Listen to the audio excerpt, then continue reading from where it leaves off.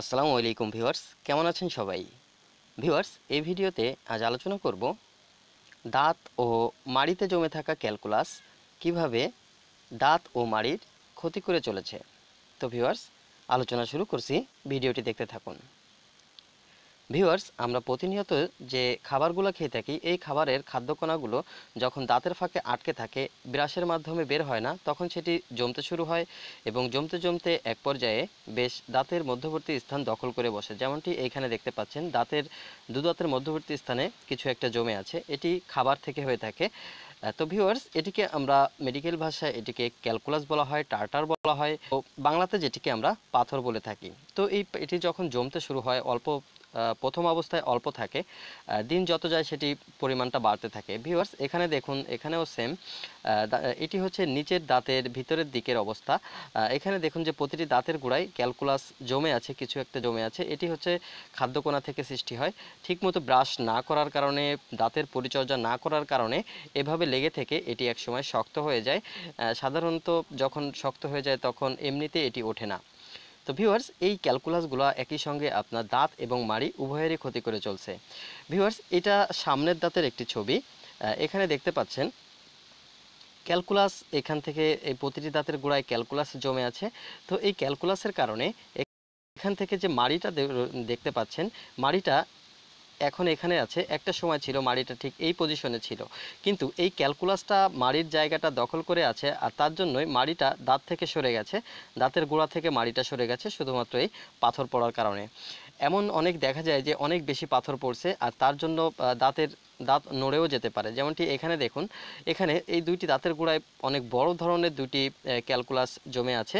এটি একদিনে হয়নি, এটি অনেক অনেক দিনে দু, এক দুই বছর সময় তো লাগেই এমনটি পজিশনে যেতে।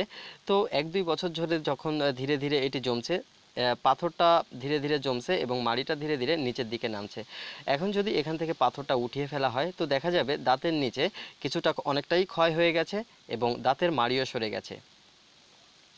এখানে যে ছবিটি আপনারা দেখতে পাচ্ছেন, এখানেও দেখুন যে প্রতিটি দাঁতের গোড়ায় কিন্তু এখানে ক্যালকুলাস রয়েছে। যদিও এখানে ক্যালকুলাসটা আগে, এর থেকে কিছুটা কম তবে এখানেও কিন্তু দেখতে পাচ্ছেন যে প্রতিটা দাঁতের গোড়ায় ক্যাল- ক্যালকুলাস জমার কারণে মাড়ি স্থানচ্যুত হয়ে গেছে, অর্থাৎ যথাস্থান থেকে মাড়ি সরে গেছে। আর এমন পজিশনে দাঁত এবং মাড়ি উভয়েরই ক্ষয় হয়। মাড়ি ক্ষয় হয়ে নিচে নেমে যায় এবং দাঁতের গোড়া যখন যেখানে ক্যালকুলাসগুলো জমে থাকে, সেখানে দাঁতে ক্ষয় হতে থাকে। এবং এক পর্যায়ে যখন পাথরটি আপন ইচ্ছায় পড়ে যায়, তখন সেই দাঁতটি সেন্সিটিভ টিথ হয়ে পড়ে, সেটি শিরশিরে সমস্যা চলে আসে। ভিউয়ার্স, এখানে যে ছবিটি আপনারা দেখতে পাচ্ছেন, এখানে দেখুন প্রতিটি দাঁতের গোড়ায় ক্যালকুলাস রয়েছে।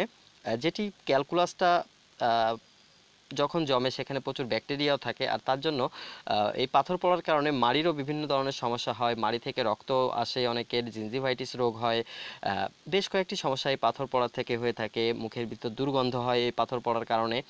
তো ভিউয়ার্স এটি যখন উঠে যায়, তখন দেখা যাচ্ছে এখানে লক্ষ্য করুন, এটি হচ্ছে উঠানোর পরের ছবি। তো এখানে দেখুন, এই দাঁতটি বেশ দাঁতটির গোড়াতে বেশ ক্যালকুলাস দেখা যাচ্ছে। আর এই দাঁতটির ক্যালকুলাসটা যখন উঠিয়ে ফেলা হয়েছে, তখন দেখতে পাচ্ছেন যে দাঁতের গোড়ার দিকটা কিছুটা হল- হালকা পরিমাণে বেরিয়ে আসছে। আর এটি হচ্ছে ডেন্টিন অংশ দাঁতের, যে অংশে দাঁতে শিশির ভাব অনুভব হয়।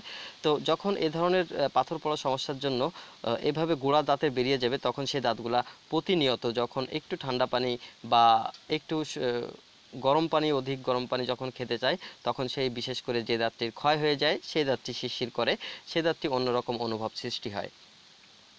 তো ভিউয়ার্স এ ধরনের যখন হয়ে যায়, তখন যদি প্রাথমিক অবস্থায় প্রাথমিক অবস্থায় যদি স্কেলিং করিয়ে নেওয়া হয়, অর্থাৎ মেডিকেল সায়েন্স বলে ছয় মাস অন্তর দাঁত স্কেলিং বা দাঁত ওয়াশ করাতে, যদি আপনাদের ছয় মাস অন্তর সম্ভব না হয়। বছরে যদি একবার আপনারা ডেন্টিস্টের কাছে গিয়ে যদি স্কেলিং করান, দাঁতগুলা ওয়াশ করান, সেক্ষেত্রে এই ধরনের সমস্যাগুলো এড়িয়ে চলতে পারবেন। কারণ এই ধরনের সমস্যা হতে প্রায় আট মাস বা এক বছর সময় লেগে যায়। তো বছরে যদি একবার আপনি ওয়াশ করান, সেক্ষেত্রে দাঁতে কিন্তু সমস্যা, অন্য ধরনের সমস্যা হবে না। দাঁতগুলা এরকম পরিষ্কার থাকবে। দেখুন, এটি হচ্ছে ওয়াশ করার পরের ছবি। তো এখানে দেখতে পাচ্ছেন ক্যালকুলাসগুলো উঠে গেছে। আর ক্যালকুলাস যদি না জমে, আপনার মাড়িও যথাস্থানে থাকবে। এবং মুখে দুর্গন্ধ হবে না, মাড়ির সমস্যা হবে না জিনজিভাইটিস রোগে আক্রান্ত হবে না, মাড়ি থেকে রক্ত আসার সমস্যা থাকবে না, অনেক উপকারী রয়েছে। যদি আপনি দাঁত স্কেলিং করান, দাঁতগুলো যদি সবসময় পরিচর্যা করান, দাঁতের যত্ন নেন। তো ভিউয়ার্স ভিডিওর আলোচনা এই পর্যন্তই। ভিডিওটি ভালো লাগলে শেয়ার করবেন, আর চ্যানেলটি ভালো লাগলে সাবস্ক্রাইব করে রাখতে পারেন দাঁত সম্পর্কে জানার জন্য। সবাই ভালো থাকবেন। আসসালামু আলাইকুম।